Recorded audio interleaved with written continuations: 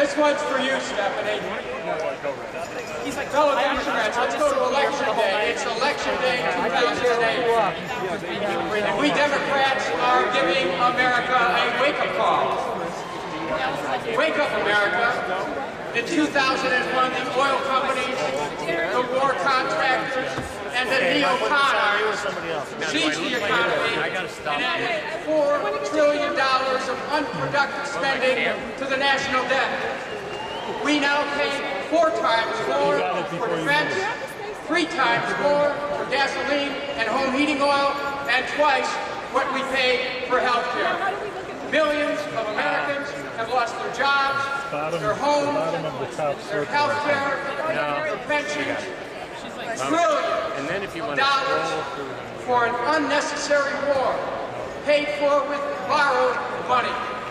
Tens of billions of dollars in cash and weapons disappeared into thin air at the cost of the lives of our troops and innocent Iraqis, while all the president's oil men are maneuvering to grab Iraq's oil.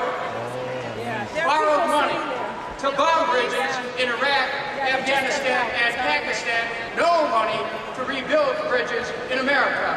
Money to start a hot war with Iran. Now we have another Cold War with Russia. And the American economy has become a game of Russian roulette. Now, if there were an Olympics for misleading, mismanaging, misappropriating, this administration would take the gold. World records, world records for violations of national and international law. They want another four-year term to continue to alienate our allies, spend our children's inheritance, and hollow out the economy. We cannot afford another Republican administration. Wake up, America. The insurance companies took over health care. Wake up, America. The pharmaceutical companies took over drug pricing. Wake up, America. The speculators took over Wall Street. Wake up, America. They want your social security. Wake up, America. Multinational corporations took over our trade policy. Factories are closing. Good paying jobs are being lost. Wake up, America. We went into Iraq for oil. The oil companies want more.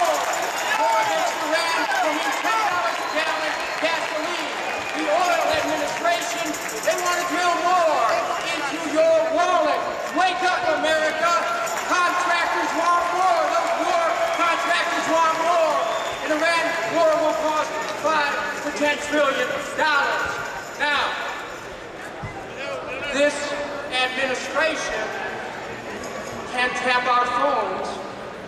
They can tap our creative spirit. They can open our mail, but they can't open economic opportunities. They can track our every move, but they lost track of the economy while the cost gasoline, and electricity skyrockets. Now they have skillfully played our post 9-11 fears. And they've allowed the few to profit at the expense of the many. Every day, we get the color orange, while the oil companies, the insurance companies, the speculators, the war contractors get the color green. Wake up, America! Now, this is not a call for you to take a new direction from right to left. This is a call for you to go from down to up. Up